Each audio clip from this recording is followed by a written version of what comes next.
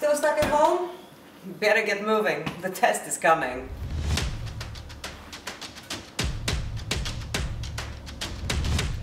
Stairs.